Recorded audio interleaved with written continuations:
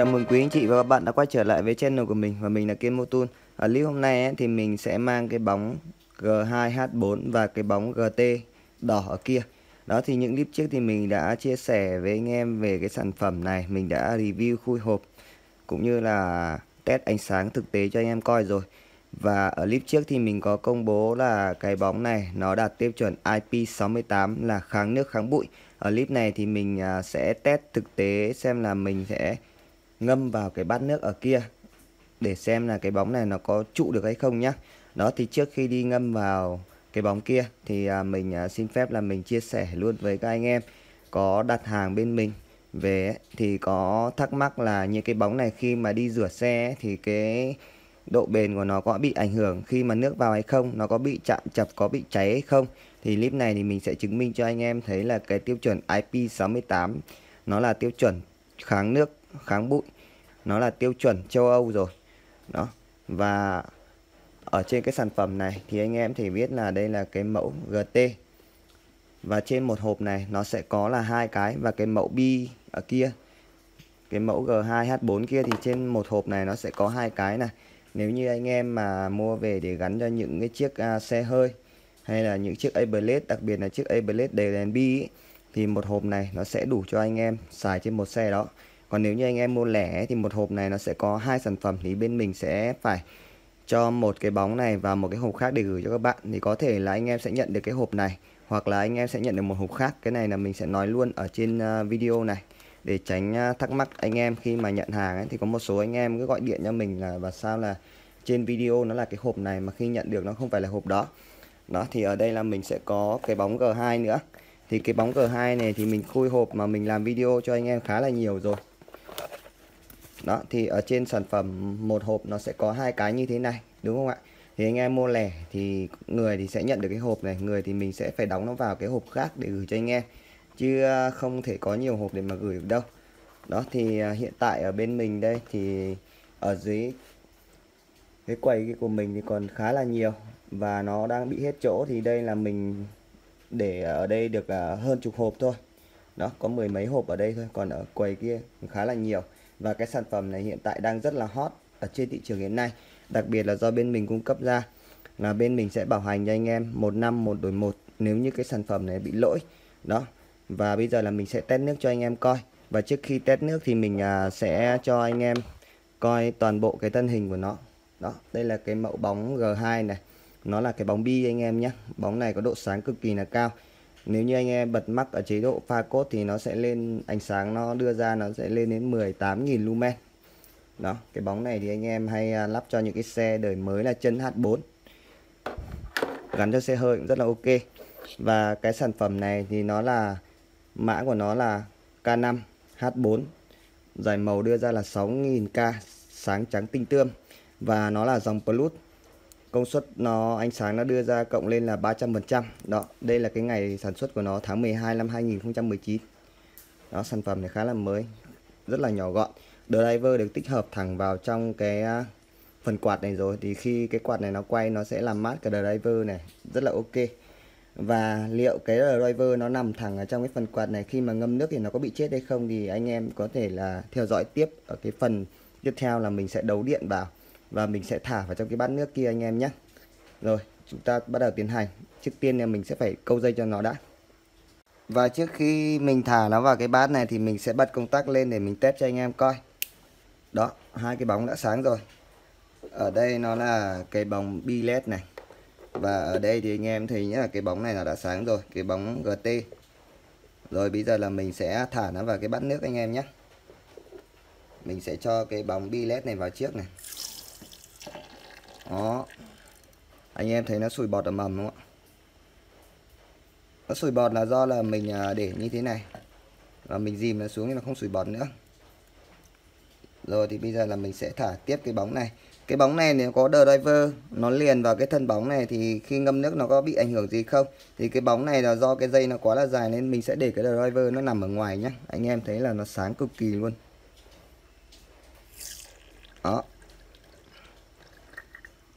Rồi là mình đã ngâm nước ở đây rồi. Mình quay cái bát sang như thế này để cho anh em uh, tiện quan sát.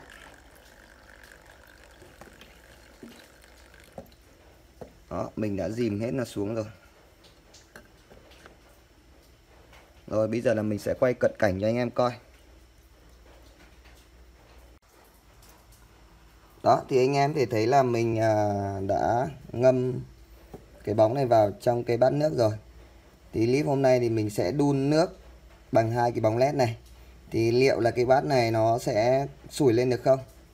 Thì à, mình ngâm vào đây, bây giờ nó nước là đang lạnh tí nữa thì nó sẽ nóng dần lên bởi vì anh em biết là cái bóng led thì nó sẽ tản nhiệt. Tất nhiên là nó sẽ không nóng bằng cái bóng sợi đốt đâu, nhưng mà nó sẽ có nhiệt và cái nhiệt này nó sẽ truyền vào nước này. Thì cái bóng này nó sẽ làm cái nước này nó sẽ nóng lên. Không biết là có sủi được không nhỉ? Đó, clip này thì mình sẽ thử à, đun nước bằng cái à, bóng led ở đây. Và hai cái bóng led này hiện tại là mình đang để ở chế độ cốt nhé mình đang sử dụng một cái bình ắc quy có 12V của xe máy thôi. Nếu như mình để chế độ pha thì có thể là nó không đủ điện để à, làm hết video này. Bởi vì hai cái bóng này khi mình bình bật như này công suất nó cũng khá là lớn.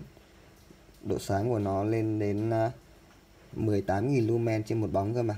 Thời gian vừa qua thì mình đã làm video mở hộp về cái sản phẩm có cái bóng màu hồng ở đây. Nó là mẫu GT Của nó là bản K5 chân H4 Nó là dòng Plus, Cái độ ờ, ánh sáng của nó được cộng lên là 300% ở đây nha anh em nhé. Nó ghi rõ ở đây, Ngày tháng sản xuất nó ở đây.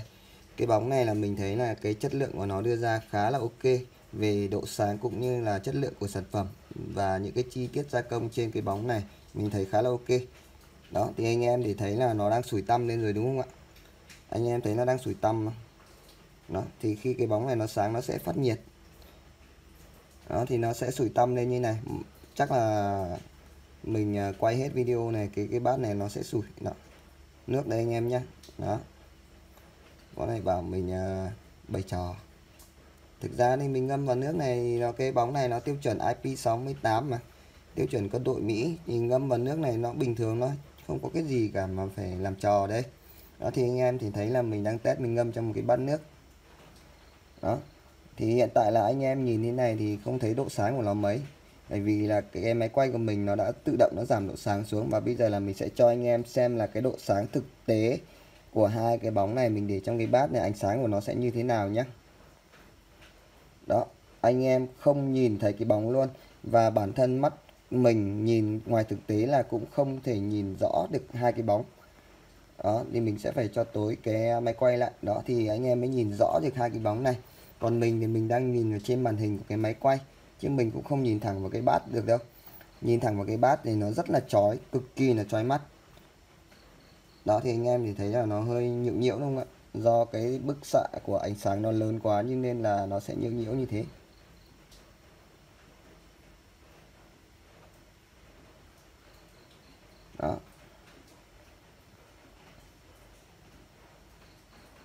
Đó mình để ra như này thì anh em sẽ không nhìn thấy nó nháy nháy nữa. Rồi thì bây giờ là mình sẽ tiếp tục để ở đây. Để à, ngâm một lúc đây để à, mình sẽ quay cho anh em về những cái sản phẩm à, bóng G2 đó thì anh em để đấy đây là cái bóng G2 của mình. Đó, thì bóng này có độ sáng cực kỳ là ok. Được à, anh em à, rất là tin dùng. Đó. có cái đường cắt à, cực kỳ là đẹp cái này còn chúng ta có thể là gắn cho xe, máy cũng như là ô tô. Nói chung là khi anh em à, chọn mua cái sản phẩm này thì trước khi gắn vào xe thì anh em hãy lưu ý cho mình là ở trên những cái chiếc pha ô tô ấy, thường là nó sẽ có cái phần sắt, nó bịt ở đằng trước cái bóng đèn zin của chúng ta. Thì nếu như anh em lắp cái bóng này vào thì chúng ta sẽ phải bỏ cái à, phần sắt chắn ở trước mặt như thế. Thì cái phần bi ở đây nó mới thoát ánh sáng ra được nhé còn đối với lại cái mẫu bóng GT của mình ở đây. Thì ánh sáng của nó sẽ được đưa sang hai bên. Đó thì khi anh em à, lắp vào cái chóa đèn của chúng ta ở trên những cái chiếc xe ô tô mà nó có cái phần sắt nó bịt đằng trước cái bóng á, thì cái bóng này nó sẽ không ảnh hưởng gì. Thì chúng ta vẫn cứ để nguyên à, những cái à, phần sắt đấy để nó chống chói tốt hơn cho cái à, phần đèn xe của chúng ta. Mặc dù là trên cái bóng này nó đã có cái phần à, chống chói ở đây. Ở đây là phần chống chói anh em đó, thì bây giờ là mình lại quay tiếp vào cái phần này. Anh em thấy là nước nó gần sủi rồi đúng không ạ? Đó, nước nó gần sủi rồi. Nói vui thế thôi, nhưng mình sờ đây mình chỉ thấy nó hơi gọi là ấm ấm này. còn chưa được ấm hẳn nữa. đó, mình quay ở cái góc này thì à, nó không không bị trói hẳn bởi cái à, chip led kia như nên là nó không bị chớp chớp chớp chớp. Vừa nãy là do cái phần ánh sáng của máy quay nó không bắt kịp về ánh sáng tần số quét của cái bóng này nó đưa ra như nên là nó sẽ bị nhấp nháy nhấp nháy. Đó thì mình à, quay lại về cái sản phẩm này. Thì trong khi mình test cái hai cái bóng ở đây thì mình sẽ nói về cái sản phẩm này. Và cái sản phẩm này thì bên mình đang có chính sách là bảo hành một đổi một trong vòng một năm. Nếu như cái bóng này là các bạn lắp lên xe mà nó bị à, lỗi có thể là chết chip led hay là chết driver thì anh em gửi về theo cái địa chỉ. Thì lúc đó thì anh em sẽ liên hệ trực tiếp với mình theo cái số điện thoại mình sẽ để ở các màn hình ấy thì các video bên mình làm thì thường xuyên là sẽ để số điện thoại trên góc màn hình. Đó thì anh em chỉ cần uh, alo trực tiếp với mình thì bên mình sẽ hướng dẫn cái cách bảo hành cho anh em. Thì tất nhiên là anh em uh, phải gửi cái bóng này về để mình sẽ test thực tế xem là cái bóng này nó sẽ cháy do nguyên nhân như thế nào. Và mình sẽ đổi ngay cho anh em. Đó thủ tục uh, bên mình cực kỳ là đơn giản. À, bóng lỗi chết đổi ngay trong vòng một năm. Đó. Cái bóng này à, giá thành cực kỳ là hợp lý trong cái phân khúc, những cái bóng cao cấp như thế này. Độ sáng cực kỳ khủng. Để clip trước thì mình đã test thực tế cho anh em coi về cái độ sáng của nó khi mà đi ban đêm nó sẽ như thế nào. Anh em nhớ nhé đây là cái mẫu GT hộp màu đỏ đỏ trắng. Và cái bản này nó sẽ là bản K5 chân H4 giải màu là 6000K cái này có chống chói. Và đây sẽ là cái mẫu bi mini ở đây. Đó. Này thì mình đã giới thiệu anh em quá nhiều rồi, nhưng mà đây là mình đang test. Trong thời gian test thì mình phải muốn là có thời gian lâu lâu một tí thì mình sẽ phải làm về cái bóng này. Thì mình sẽ cho anh em coi hình thức. Đó. Cái bi này bằng thủy tinh anh em nhé nhiều anh em hỏi bi này bi nhựa bi thủy tinh bi này bi thủy tinh. Cái mẫu ADI ấy, Plus ấy, thì đây nó sẽ là bằng nhựa. Và cái thân này hoàn toàn bằng nhựa. Cái mẫu này nó là hoàn bằng nhôm anh em nhé đó. Thì đây là cái phần quạt tản nhiệt đằng sau. Cái quạt này nó sẽ là công nghệ lốt led là không trồi than. Đó thì cái nếu mà cái quạt mà có trồi than ấy khi mà ngâm vào nước như kia là nó chết luôn còn cái quạt mà không muốn trồi than thì ngâm nước thoải mái. Thì hiện tại là bên mình đang có cái cả hai mẫu. Một mẫu là có quạt và mẫu là không có quạt. Bây giờ là mình sẽ tìm cái hộp mà mẫu không có quạt nhé thì có nhiều anh em lắp vào xe ấy, thì cái phần này có thể là nó sẽ hơi bị đụng này. Thì anh em à, muốn là làm như nào đó để nó không đụng ấy, thì à, mình sẽ có cái mẫu tiếp theo để mình tìm cái mẫu kia đã nhé đây rồi là mình đã tìm thấy đó thì cái mẫu này thì uh, phép chia sẻ với anh em luôn là cái mẫu này nó sẽ có cái phần tản nhiệt bằng nhôm ở đây nó sẽ không có quạt. Đó thì anh em thì thấy là cái bóng phần đằng trước này nó sẽ y xì như cái bóng G2 kia. Cái này vẫn là mẫu G2 anh em nhé. Nhưng mà đằng sau này nó sẽ có cái phần à, uh, lái nhôm ở đây đó, thì anh em thì thấy là cái phần gen này nó khá là dài này. Để mình tháo cái phần này ra, mình chia sẻ tiếp cho anh em. Đó, thì mình đã tháo ra rồi, thì anh em thì thấy là cái đuôi bóng này, nó cũng giống y cái đuôi bóng này thôi. Về hình thức của hai cái bóng này, nó sẽ là tương tự nhau, y như nhau luôn anh em nhé nó không có gì khác nhau cả, nó chỉ khác nhau ở cái phần này. Đó, thì anh em thì thấy là cái đoạn gen này khá là dài. Đó, nếu như trong trường hợp mà cái đầu đèn của các bạn nó bị cấn ấy thì chúng ta có thể là hoặc là cái đầu đèn của các bạn nó nhỏ thì chúng ta có thể là đặt cái phiên bản này. Đó thì cái phiên bản này nó có một cái rất là hay một cái lợi cực kỳ là lớn so với lại cái bản này. Cái bản này thì chúng ta không thể can thiệp vào được cái phần quạt ở đây. Còn cái bản này thì anh em thì thấy là cái cục này khá là dài này và trong này đoạn gen khá là nhiều. Chúng ta chỉ cần là mang cưa sắt chúng ta cắt cái phần này đi hoặc là cho lên máy. Có máy cắt tay ấy, anh em cắt nó ngắn đi. Thứ nhất là nó ngắn lại thì nó không bị kích cái phần đầu đèn của chúng ta. Thứ hai nữa là chúng ta vẫn có thể tản nhiệt được. Thì mình chia sẻ với anh em là anh em à, bản thân là cái bóng này nó sẽ vặn vào theo chiều như thế này đối với cái bóng đèn nó sẽ là như thế này này. Thì khi anh em cắt ấy, thì anh em sẽ sử dụng cái phần này. Còn cái phần này nó thu nhỏ lại thì anh em sẽ cắt bỏ cái phần này đi. Đó thì chúng ta sẽ sử dụng như thế này theo chiều của cái bóng đèn. Cái phần đèn nó sẽ nằm ở đây. Đó thì anh em sẽ dùng cái phần này cho nó to còn cái phần nhỏ này anh em cắt bỏ đi cũng được. Đó. Thì cái loại bóng kiểu này thì mình nhập về sẽ nhập ít hơn đó, thì anh em là thực sự cần thiết, nếu mà cái phần đầu đèn của các bạn nó nhỏ thì anh em nên lựa chọn là cái phần này anh em nhé. Cái phần này. Đó. Rồi, thì từ nãy đến giờ là mình quay khá là lâu rồi, chém gió cũng khá là lâu về hai cái hộp bóng ở đây. Và bây giờ là mình sẽ quay lại cái sản phẩm của chúng ta. Mình đang ngâm nước ở đây đó, thì mình khuyến cáo anh em là không nên thực hiện như thế này. Khi mà ở nhà thì anh em thì biết là đây là mình test thực tế. Đó, đây là những cái hộp bóng của mình đang để ở đây. Đó, và cái sản phẩm của chúng ta đang được ngâm ở đây. Anh em thì thấy là nó giống y nhau, đúng không ạ? Đó, cho nên là mình ngâm vào đây thì khuyến cáo anh em là về không được làm theo. Nếu như anh em làm theo mà nó bị ờ, hỏng do bị vào nước khi mà gửi về mình bảo hành ấy, mà nó bị vào nước thì bên mình sẽ không có trách nhiệm bảo hành đối với anh em. Thì đây là mình test từ lễ đến giờ khá là lâu và mình bật đèn đến như thế này rồi thì anh em thì biết là cái bóng này nó có độ chịu nước của nó như thế nào rồi. Và bây giờ là mình sẽ quay cái phần này về đằng này cho anh em coi.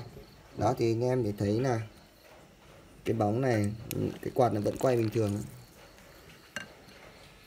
Đó anh em thấy á mình hạ nó xuống nước thì bắt đầu là nó quạt có bọt lên đó, thì cái phần quạt của bọn này nó là quạt không trổi than cho nên là anh em ngâm nước thoải mái nó không chết được. Đó, nó hơi chói mắt đấy. Rồi, cái bóng nó vẫn đang sáng bình thường. Và đây là cái bóng G2 này. Đó, anh em thấy nó đang quạt nước ạ. Nhìn như kiểu chân vịt của co le đó thì anh em biết là cái độ bền của cái bóng này như thế nào rồi. Nếu như anh em có nhu cầu có thể liên hệ trực tiếp bên mình theo cái số điện thoại mình sẽ để góc màn hình đấy đó thì anh em à, liên hệ trực tiếp thì bên mình à, sẽ ship hàng cho anh em. Không chuyển khoản không đặt cọc anh em nhận hàng kiểm tra đúng như những cái gì mình quay trên video ấy, thì anh em hãy thanh toán tiền. Còn nếu như không đúng ấy, thì anh em quay đầu cho mình nhé đó thì mỗi một bóng nó sẽ có thêm một cái mã QR code như thế này. Đó, anh em để nhìn thấy mã QR code đây